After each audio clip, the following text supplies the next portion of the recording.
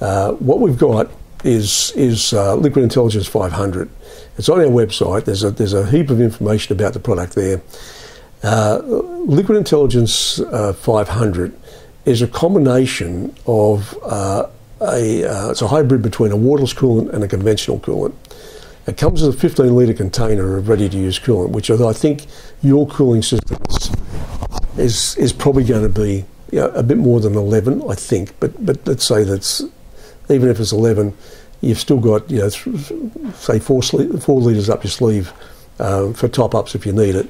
Now it's a ready to use coolant, as I said, 15 litre container. It contains a 50% solution of monoethylene glycol. It's got a hybrid organic inhibitor in there called a G12++, so it's a, you know, a, um, the one that uh, BMW, Mercedes, Audi, VW use. Ford's using some now, and, and General Motors as well. Uh, it's the top of the tree, 70 years, 350,000 K protection for corrosion.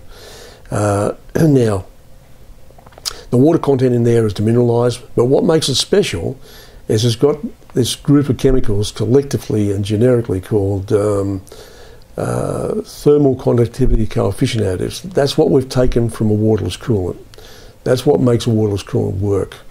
Now, these additives uh, in this formula or what they what they're basically doing is that they're changing the surface tension of the fluid within the cooling system and reducing the frequency and size of vapor that gets formed on the internal walls of the water jacket, which then allows that liquid to wet the surface out more completely, pull the heat out of the block more efficiently, and and um, make it work you know well beyond the capabilities of, of, of normal coolant.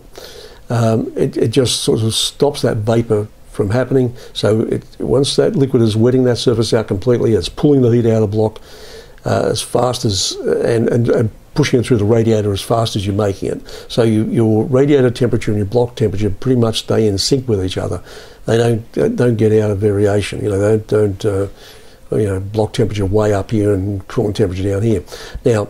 Um, so it's the the that when you put these, these additives, these thermal conductivity coefficient additives, and the glycol together, it's like having a double whammy of anti-boil, and it pushes your boil point up to about 140 C, and your vapor point up to about 124 C, and that would probably give you about 25 to 30 percent more thermal capacity than you currently got.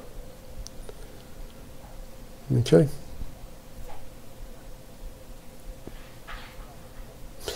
Yeah, well, it, it, you're at Robinson Crusoe here. You know, like this is this is something that that uh, happens quite a bit, and um, yeah, this is this is you know the combination of, of, cleaning a block out so it will transfer heat, and putting a coolant in the, there that can transfer heat, just fixes so many overheating issues.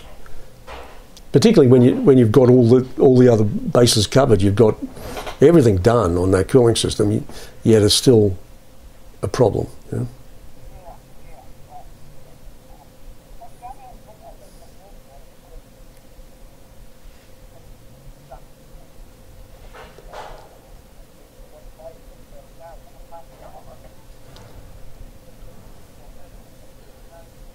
It's, but the idea is that um, when you're talking about the 239 kit, uh, what you're doing is, is minimising the time it's in there, but maximising the time that is in there. Now, we, we've got guys that leave it in there for 10 days or more, uh, but they're, they're big old clunkers, you know, big old cast iron blocks, you know, 40s and 50s, um, and, and, not bristling with aluminium or any of the softer metals.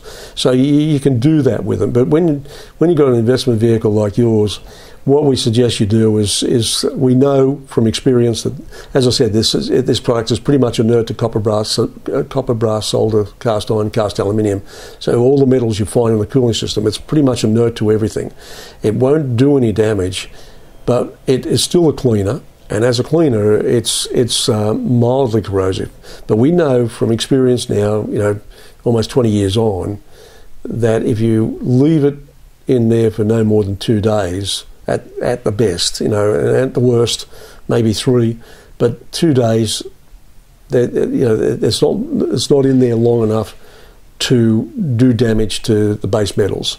It will just strip the ferrous oxide and the calcium out of the system completely and, and um, uh, clean, up, clean up the block.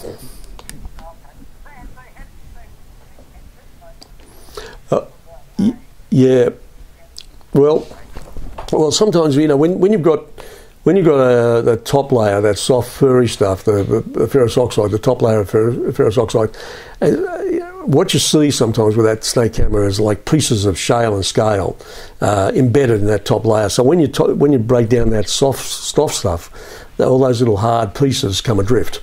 And, and, and they can get picked up by the water pump and they'll find their way into the flutes the radiator. So we've got to stop that from happening now. Now, the way there's like there's there's uh, there's top radiator hose filters, inline filters you can have, uh, which are more designed for you. You know, when you've got a problem and you get these little pieces coming through and blocking the flutes up all the time. We, we, we don't need that because we're going to clean the block right out, so right back to the cast iron again.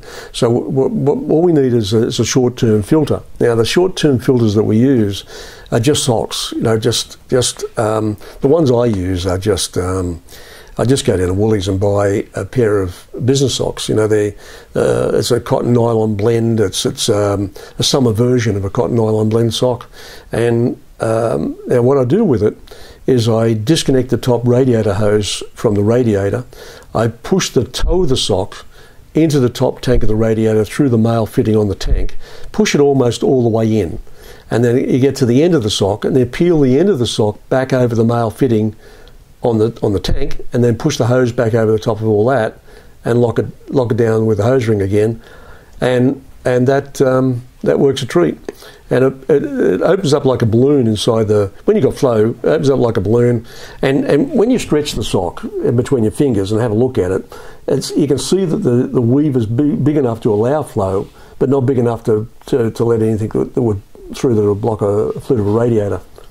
Hmm. So that's how that's how we do it. And after the first day, uh, take the sock out and then uh, you know either keep it or wash it or I just throw them away. They're cheap enough, and and put another one in.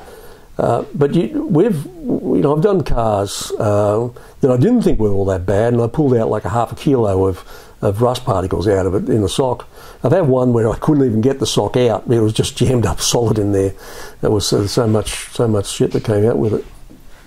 Hmm. Hmm. Hmm. Hmm.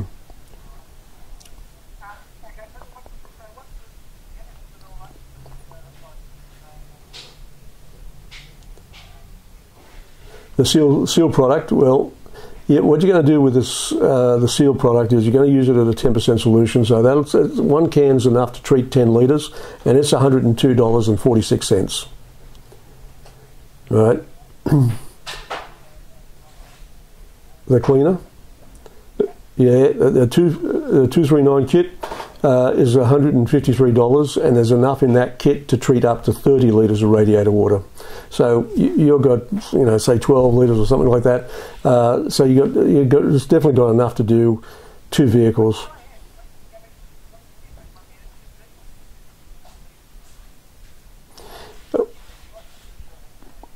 Well, yeah, all right. Um, I'm, I'm, I'm happy with what you're saying. It's, uh, I, I just think that um, most sixes are a 10. You know, like an old Holden, an old Holden is, is about 10 litres. Um, the big Fords, uh, if, you, if you, like if you had a, a, big V8 in a in a Fairlane, it was about 15, 16 litres.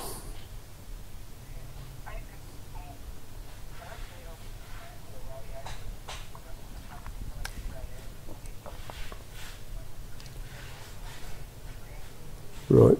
Yeah. All right. Okay. Yep. Yeah.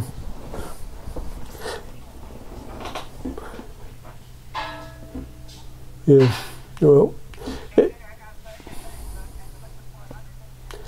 uh, it's 143 bucks.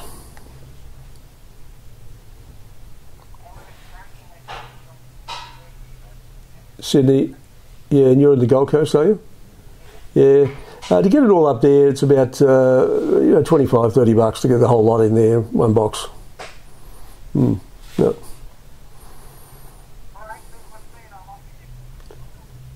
Yep.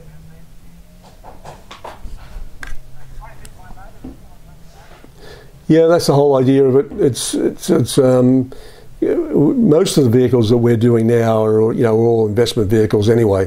Uh, you know, it's, it's, it's, some of these things, some of the vehicles, like we, one of the ones we cleaned out was um, uh, MacArthur staff car, and, uh, and uh, uh, we had Hermann Goering's um, convertible convertible, and yeah, there's uh, what was one? Of, oh, there was a couple others, you know, that uh, throwing names around now, but like it's there's there's there's been over the years there's been a lot of guys that have used the product and uh, with with good success without any complaint.